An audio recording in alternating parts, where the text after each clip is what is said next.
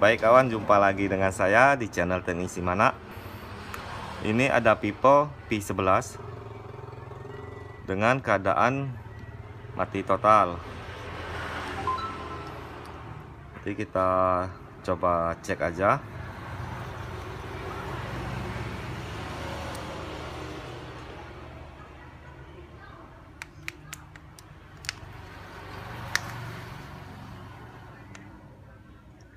Kita buka dulu casingnya.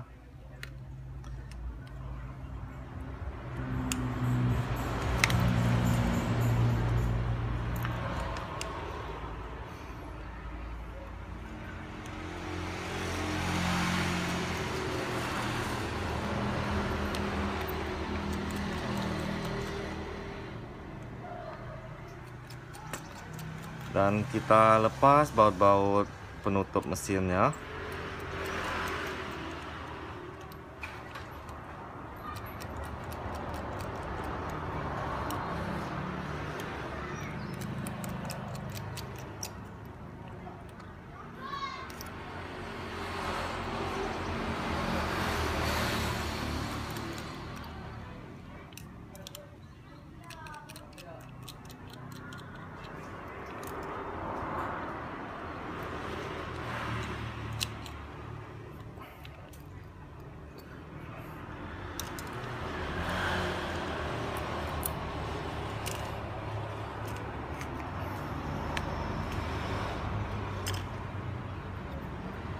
kita lepas dulu baterainya.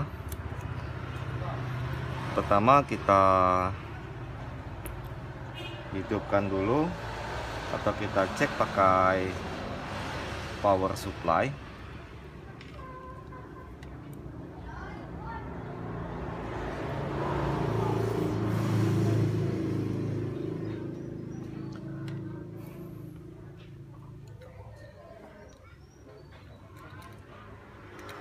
di sini HP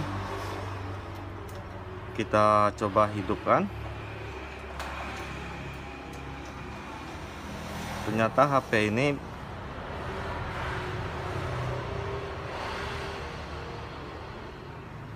hidup.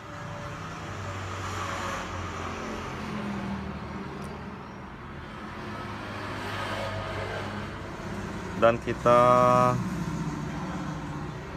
coba cek dulu untuk di tegangan baterainya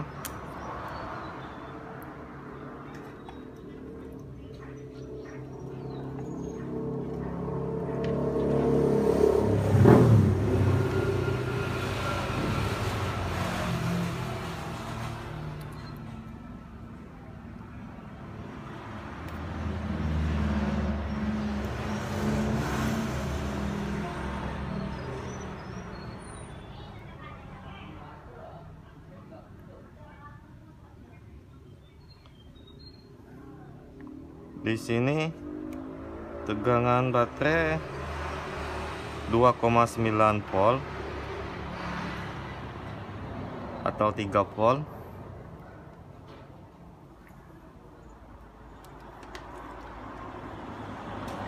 Jadi kita coba isi daya untuk baterainya. Ini baterainya yang ngedrop. Jadi kita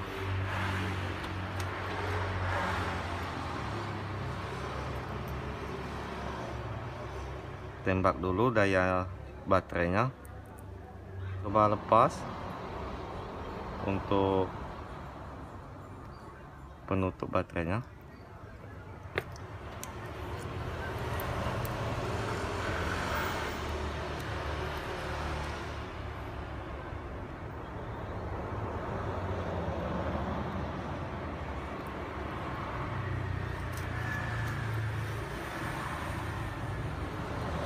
benar saja di sini. Kayaknya bukan baterai bawaan lagi.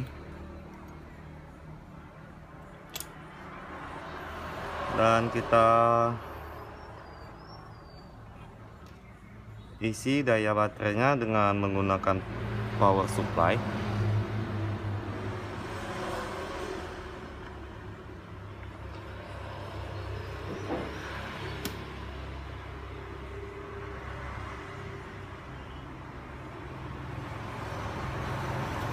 sini ada kode B plus berarti ini untuk kabel positifnya. Dan di sini ada B minus berarti ini untuk kabel negatifnya. Jadi kita tunggu aja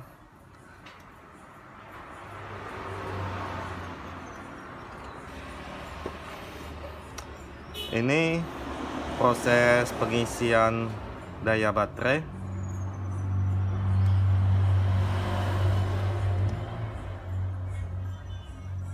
Ini kita isi kira-kira sekitar 15 menit.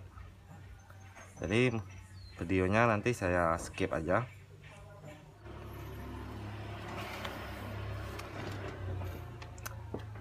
Baik kawan. Ini saya rasa sudah cukup untuk pengisian baterainya. Jadi kita lepas dulu untuk kabel power supply nya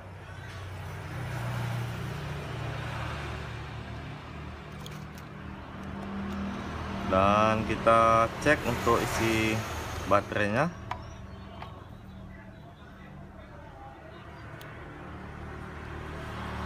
di sini sudah menunjukkan 3,7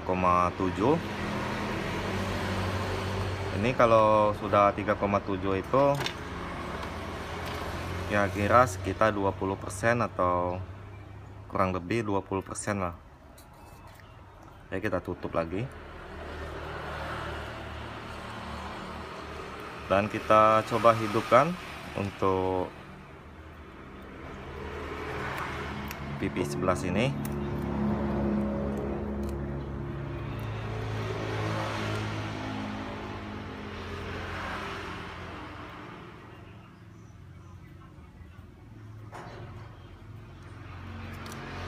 ternyata di sini HP-nya sudah hidup lagi. Dan kita bantu dengan casan dulu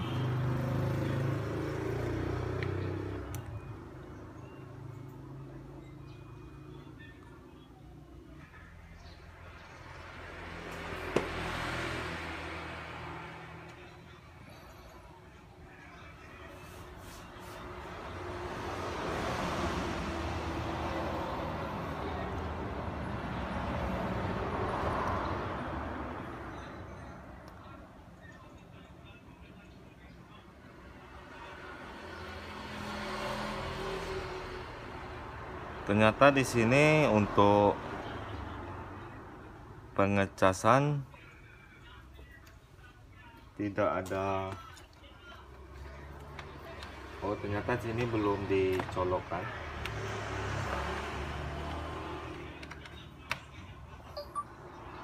Oh ternyata pengecasannya normal ada lambang casannya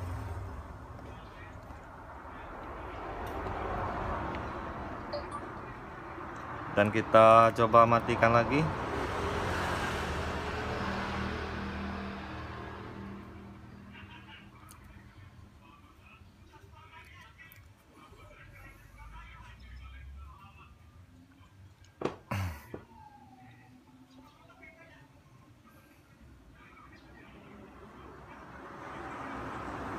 Di sini lambang casan sudah keluar jadi kita cek dulu untuk tegangan di soket baterainya. Kita masukkan dulu kabel casan.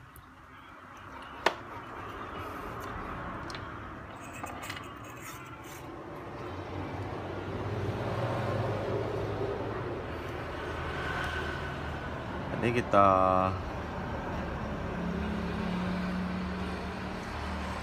ukur tegangan di soketnya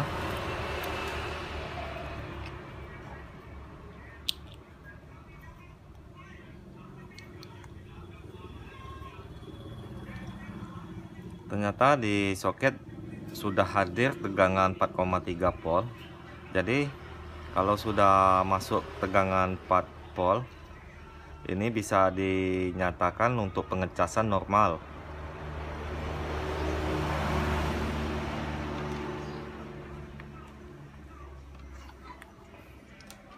jadi masalah bat masalah HP Vivo P11 ini dia mati total tadi. Bukan di mesin tetapi masalahnya di baterai.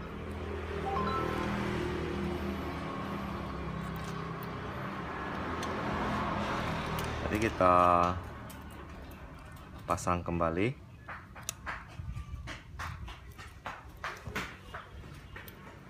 Ini masalahnya baterainya ngedrop. Tapi bukan berarti baterainya tidak bisa dipakai lagi. Itu masalah ngedrop itu banyak ditimbulkan bukan masalah di baterai aja. Bisa jadi di waktu pengecasan ada stop kontak maksud saya ada tegangan tinggi atau tegangan rendah. Jadi baterainya untuk pengecasannya kena protek. Jadi kita harus lepas dulu baterainya dan pasang kembali. Tapi berhubung ini baterainya sudah ngedrop kita isi dulu dayanya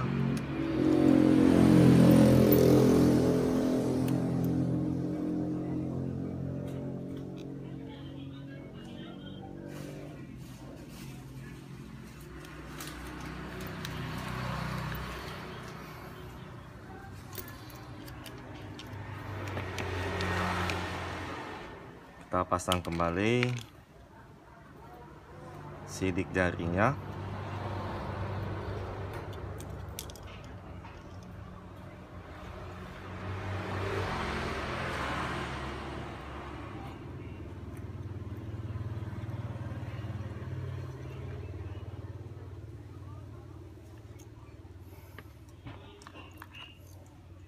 Kita tutup kembali casingnya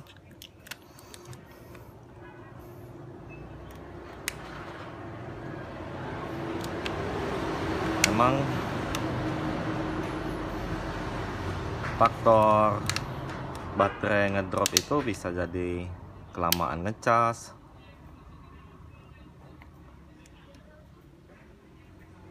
Atau ada tegangan tinggi atau tegangan rendah dia terprotek